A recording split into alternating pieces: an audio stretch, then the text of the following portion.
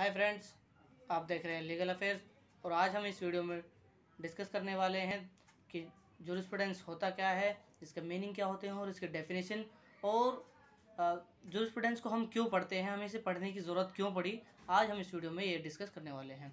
तो सबसे पहले आ, मैं आपको बता देना चाहूँगा कि जूरिस्प्रूडेंस का जो मतलब है वो है knowledge of law jurisprudence means the knowledge of law और जो इसके जूरिस्प्रूडेंस के जो फादर हैं वो है जेरेमी बेंथम तो हमें जूरिस्प्रूडेंस की आखिर ज़रूरत क्यों पड़ी पढ़ने की? क्योंकि हम जानते हैं कि हमारे पास बहुत सारे लॉज हैं तो जूरिस्प्रूडेंस हमें बताता है कि कैसे लॉ ओरिजिन हुआ ओरिजिनेट हुआ, उसके बाद लॉ का डेवलपमेंट कैसे कैसे हुआ, किन टाइम्स और किन सिचुएशन में क्या क्या अमेंडमेंट्स आए लॉज में तो ये हमें जूरिस्प्रूडेंस में ही सीखने को मिलता है। तो जूरिस्प्रूडेंस हमें सिखाता है कि हमें लॉ को इस्तेमाल कैसे करना चाहिए, कैसे उसको इन्फोर्स करना चाहिए। और लॉ से रिलेटेड जितने भी हमारे जो डाउट्स हैं या फिर हमें जो प्रिंसिपल्स हैं, वो हमें जूरिस्प्रूडेंस बताता है।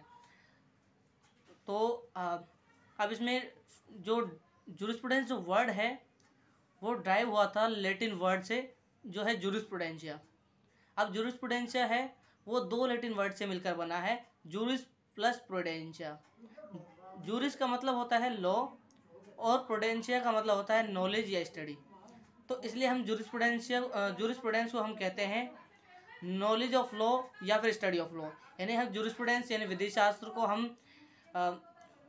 जूरिस्प्रूडेंस का मतलब होता है कि जो हम विधि का अध्ययन करते हैं, उसे ही विधि शास्त्र कहा जाता है।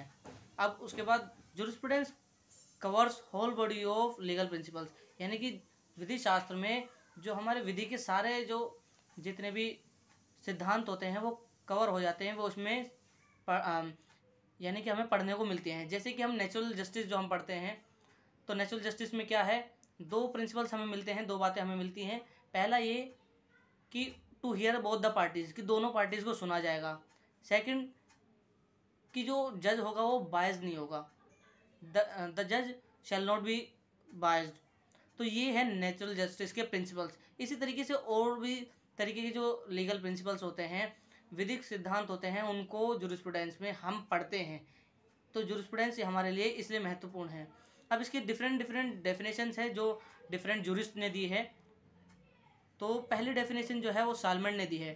Definition by Salmond Sal according to Salmond jurisprudence is the science of first principles of civil law अब सालमंड की डेफिनेशन पढ़ने समझने के लिए हमें इसके तीन इसमें एलिमेंट्स हैं। पहला है science of law science of law का मतलब है serial serial wise study of basic principles of specific legal system यानी कि किसी भी कंट्री के जो हम स्पेसिफिक लॉ है, उनको हम सीरियल वाइज पढ़ते हैं कि वो कैसे ओरिजिनेट हुआ क्या क्या उसमें चेंजेस आए टाइम टू टाइम तो ये ही साइंस ऑफ़ लॉ है। सेकंड जो है इसका है, जो इन्होंने सालमेंट ने कहा है आपने उसमें, वो है फ़र्स्ट प्रिंसिपल्स फ़र्स्ट प्रिंसिपल्स का मतलब होता है principles found in any legal system कि कोई भी विधिक सिद्धांत जो किसी भी विधिक सिस्टम में पाए जाते हैं, वो फ़र्स्ट प्रिंसिपल्स हैं। इसके बाद थर्ड जो पॉइंट है उनकी डेफिनेशन में, वो है civil law civil law means the law of a country civil law का मतलब है किसी भी देश के कानून।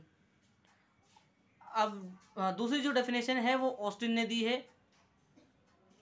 ऑस्टिन की जो डेफिनेशन है Austin said according to Austin jurisprudence is the philosophy of positive law की जो जूरिस्प्रूडेंस है वो फिलोसफी है पॉजिटिव लॉ की। अब इसमें दो इसेंशियल एलिमेंट्स हैं।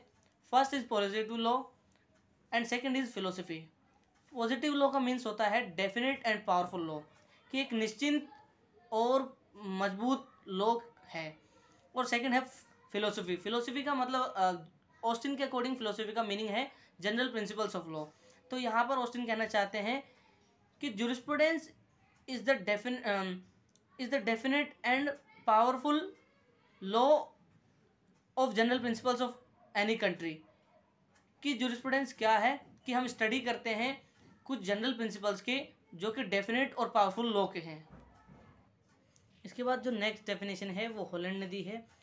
According to Holland jurisprudence is the formal science of positive law तो उन्होंने होलैंड ने जूरिस्प्रूडेंस को फॉर्मल साइंस बताया है पॉजिटिव लॉ का। इसमें टू इसेंशियल एलिमेंट्स है। First is formal science formal science हमें बताता है it includes different relationship which different relations which are controlled by positive law ये हमें बताता है बहुत uh, विभिन्न प्रकार के जो रिलेशंस है जो कि पॉजिटिव लॉ के द्वारा कंट्रोल होता है। अब हमें इसके लिए पॉजिटिव लॉ जानना ज़रूरी है। पॉजिटिव लॉ का मतलब है जनरल प्रिंसिपल्स ऑफ़ लॉ उस तो इनकी जो डेफिनेशन है हॉलैंड की, वो ये है jurisprudence is the formal science of positive law अब नेक्स्ट डेफिनेशन जो है, वो रोस्को पाउंड ने दी है।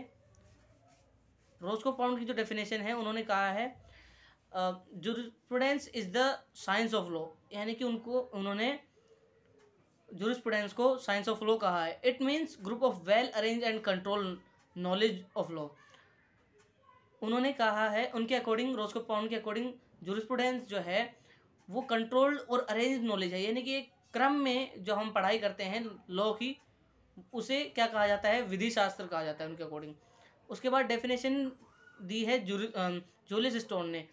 According to Julius Stone jurisprudence is the lawyer's extraversion अब उन्होंने कहा है examination of precept and techniques of law in the light drive from present knowledge in discipline other than law उनके अकॉर्डिंग क्या है?